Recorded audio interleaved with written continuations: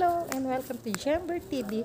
For today's video, ipakikita ko po sa inyo yung aming accommodation dito sa Baguio. Sa mga hindi pa po nakakapag-subscribe, please don't forget to subscribe and click the notification bell para po ma-notify kayo sa aking mga future vlog. So paano po? Join me at bago ang lahat, please don't forget to watch my intro.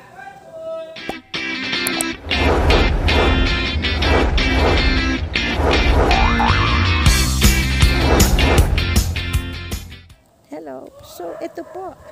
Ito po yung accommodation namin dito sa Baguio. Actually, property po to ng isang neighbor namin, si at si uh, Mayor Orozco. Thank you so much po, Mayor, for uh, accommodating us. Maraming maraming salamat po for opening your uh, vacation uh, vacation house dito sa Baguio.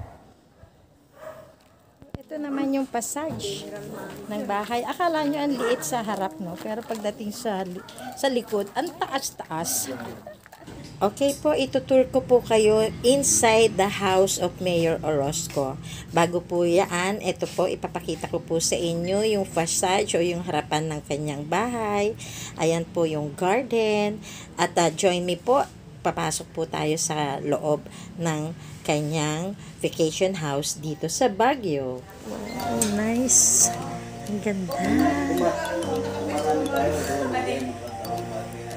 Ang ganda ng lugar. Ito po yung accommodation namin.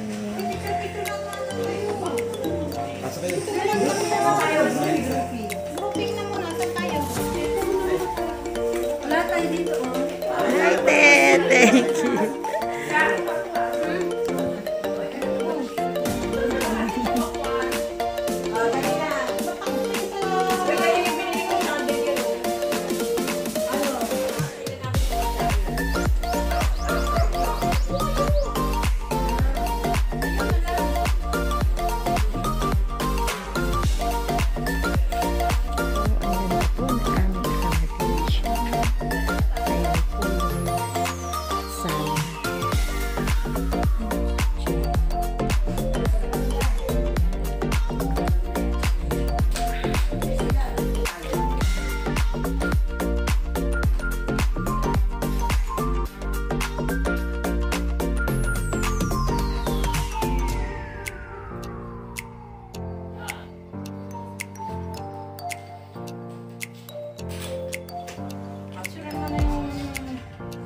Lang sa ano eh, maging... Hindi na gano'n, kumakabal pa tayo.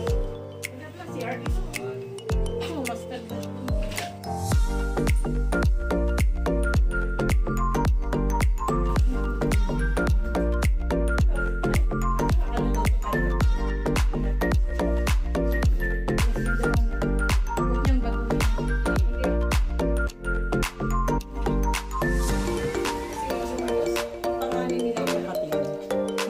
Dolor, si Dolor ni ni Ani. Kaya ko lang na, kaya ko nga lang nalaman dahil nung nandun siya sa amin. Ayan po, sana nagustuhan ninyo yung aking video. And once again, thank you po Mayor Orozco for opening your vacation house dito po sa Baguio City. Kung nagustuhan nyo po yung aking ah, vlog, please don't forget to subscribe, like, share, and comment down below. And please don't forget to click the notification bell para ma-notify po kayo sa aking mga future vlog. Thank you for watching and see you!